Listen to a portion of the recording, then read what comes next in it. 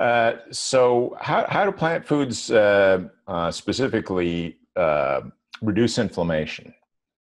Great question. I'd say there are probably three or four mechanisms. Some we don't even fully understand, but let's go with the science, as I said. Let's start with a simple one. Uh, probably the most powerful, uh, if you will, or basic, I should say, molecule of inflammation is something called prostaglandins.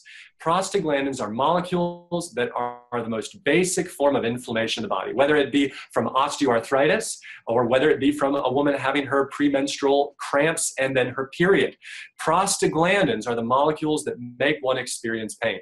Now, prostaglandins are a molecule that is formed from a parent molecule called arachidonic acid. Arachidonic acid is converted to prostaglandins by an enzyme called COX, COX1, COX2. And these enzymes are actually inhibited by anti-inflammatories, ibuprofen, Motrin, Aleve, naproxen, Vimovo. Those drugs inhibit this conversion. But what's fascinating, let's say the basic inflammation concept here, is that arachidonic acid is largely derived from meat and dairy.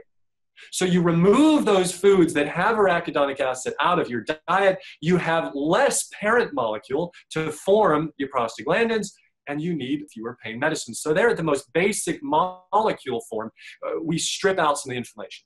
Number two, studies out of Johns Hopkins show that plant-based foods cause blood vessels to dilate and open up more. This allows more blood with oxygen and nutrients to rush into areas of injury to thereby facilitate healing. On the opposite side of that spectrum, the same studies showed that you can reduce blood flow through the brachial artery by half for up to four hours by eating a single high fat, high cholesterol meal. So you can inhibit blood flow to areas of the body that need it. So put this into perspective. The sprinter goes out and sprints. They need good blood flow to their muscles their legs so they can function boom, boom, boom, boom, again and again.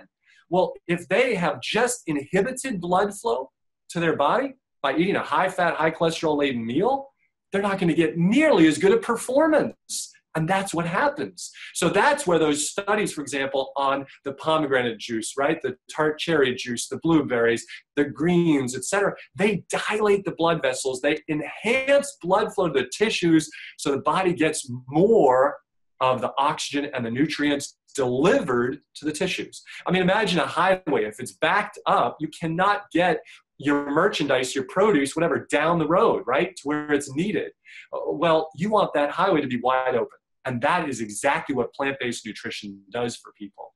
Then at the cellular level, it appears that oxidation associated with energy production, with mitochondria, which are little energy producers of the cell, is significantly altered by plant-based nutrition versus flesh or animal foods and you know processed foods and all the rest. So uh, we know that the body functions more superiorly, you know, more efficiently, as well as I just mentioned, more improved blood flow to the tissues and less prostaglandin formation. There are so many other ways that are being discovered year after year, but these are some of the basic models out there.